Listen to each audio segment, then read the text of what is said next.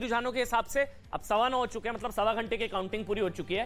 कांग्रेस ने बहुमत पा लिया है।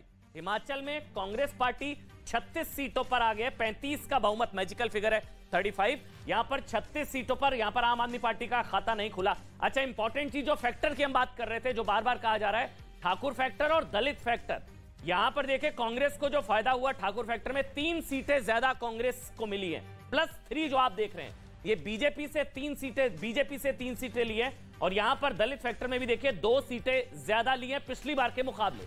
तो इस अच्छा अब कम हो गया, पैंतीस, इकतीस हो गया, भाई, ये नेक एंड नेक चल रहा है, जैसा कि एग्जिट पोल में बताया जा रहा था। अच्छा गुजरात की तरफ़ देख लेते हैं, एक बार 138 ये तो क्लियर कट है वन साइडेड है 138 पर बीजेपी इस वक्त आ गया 138 कांग्रेस 27 जो भी ब्रिजेश जी बता रहे थे कि ये वर्स्ट परफॉर्मेंस बीजेपी ने अपना रिकॉर्ड तो तोड़ा, थोड़ा एक का जो माधव सिंह सोलंकी का रिकॉर्ड है, वो टूटेगा, नहीं टूटेगा, पता नहीं, लेकिन आम आदमी पार्टी 12 सीटों पर आ गया आम आदमी पार्टी 12 सीटों पर आ गया कांग्रेस 27 सीटों पर आ गया और यहाँ अगर ब्रेकअप भी देख ले, सौराष्ट्र में बीजेपी 13 सीटें ज़्यादा ले रही है पिछली बार से, उत्तर गुजरात में सात सीटें ज़्यादा ले रही है, मध्य में पाँच सीटें ज़्यादा ले रही है गुजरात में पिछली बार से। सबसे इंपॉर्टेंट ग्रामीण इलाकों में देखिए 21 सीटें ज़्यादा।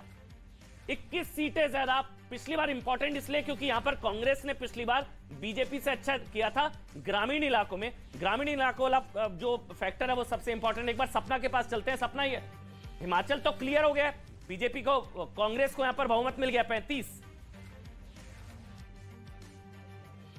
बिल्कुल आपने ठीक कहा कि देखिए पैंतीस का जो जादुई आंकड़ा चाहिए होता था, वो रुझानों में साफ़ साफ़ मिल चुका है कांग्रेस को और आपने देखा भी कि प्रतिभा सिंह जब बातचीत कर रही थी, उनके जो बातचीत का तरीका था, उसमें भी आपको वो कॉन्फिडेंस दिख रहा होगा। जो फैक्टर्स आप बता रहे हैं बार बार जो तीन फैक्टर्स का ज़िक्र कर रहे हैं, निश्चित तौर पर वो फैक्टर्स है, लेकिन अमन में जो एक चीज़ देख रही थी, जब आप देखेंगे इलेक्शन कमीशन की वेबसाइट पर, आप कोई भी सीट देख लीजिए, जिस तरीके से आंकड़ा देख रहे हैं ना आप, इकतीस और पैंतीस का, हर सीट पर बहुत ज़्यादा डिफरेंस नहीं है कैंडिडेट्स के बीच में बीजेपी और कांग्रेस के, हज़ार, दो हज़ार कुछ ऐसा ही डिफरेंस चल रहा है। शायद यही कारण है कि बार बार आप आंकड़ा अच्छा, बदलता हुआ अच्छा, दिख रहा है। यहाँ पर तैयारियाँ इस तरीके से की गई है कुर्सियाँ लगा दी गई है।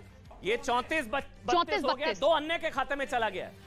ये असल में जो कांग्रेस के खाते में 36 था इसमें से दो चला गया अन्य के खाते में और अब बत्तीस चौतीस हो गया है। क्या ये बत्तीस चौतीस जो है अमिताभ जी बत्तीस चौतीस जो नेक एंड नेक लग रहा है ये कुछ खेल तो नहीं हो जाएगा हिमाचल में? देखिए खेला हो तो हर जगह हो जाता है तो यहाँ अब, अब अभी अभी जो बात हुई ना तीन तीन मुख्यमंत्री पद के उम्मीदवार हैं प्रतिभा सिंह हैं सुखविंदर सुक्खू हैं तीसरे उम्मीदवार भी हैं तो तीन तीन उम्मीदवार हैं सबके अपने सात आठ एमएलए हैं। तो तो आगे क्या होगा कोई कहा नहीं इकतीस पैंतीस इकतीस पैंतीस इकतीस पैंतीस। पैंतीस है परंतु अंत में मुझे लग रहा है कि बीजेपी ही मात कर देगी इनको जो कैलकुलेशन कैसे? रिजॉर्ट पॉलिटिक्स है। मैं, मैं नहीं नहीं नहीं वो नहीं कह रहा मैं।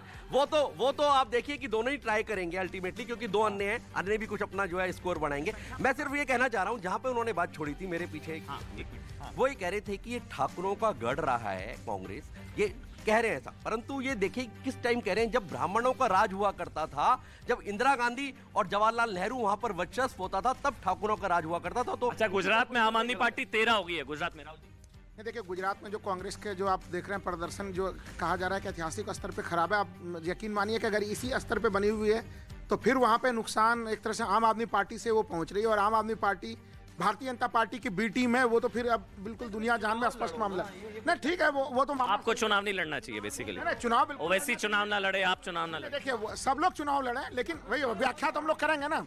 दूसरी चीज़ दूसरी चीज़ नहीं एक सेकंड जरा मैं हिमाचल पे तो मैं बोल सत्ताईस साल से तो आम आदमी पार्टी नहीं थी ना वहाँ पर। ठीक है नहीं थी उनको लड़ने का पूरा अधिकार है वो लड़ेंगे। लेकिन आगे चल के एक नई रणनीति के साथ फिर से कांग्रेस लड़ेगी। क्योंकि देखिए भारत जोड़ो यात्रा में जितनी ऊर्जा प्राप्त कर रही है कांग्रेस वो तो काफ़ी अभूतपूर्व है। मोनिका के पास चलेंगे। गुजरात प्रदेश कांग्रेस अध्यक्ष उनके साथ है। Monica over to you Monica.